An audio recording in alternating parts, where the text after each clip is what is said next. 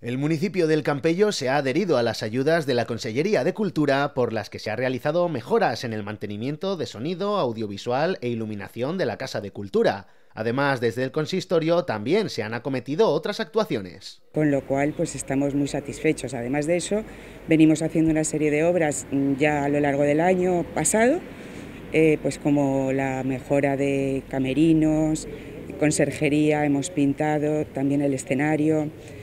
Y bueno, eh, ahora mismo también estamos eh, con el tema de la climatización para actualizar, porque es verdad que tenía deficiencias, y vamos a actualizar lo que es eh, todo el tema del aire acondicionado y calefacción. Y a todo ello se suma la impermeabilidad de la cubierta, que tenía goteras, unas reformas que llegan en un momento en el que la cultura sigue paralizada. Ahora mismo estamos parados por la situación que tenemos, pero seguimos trabajando para las compañías y para el público que luego lo pueda disfrutar. Tras el actual decreto de alcaldía, los edificios municipales están obligados a cerrar a las 8 de la tarde, por lo que la cultura ha tenido que posponer toda su programación, con el deseo de poder volver cuanto antes.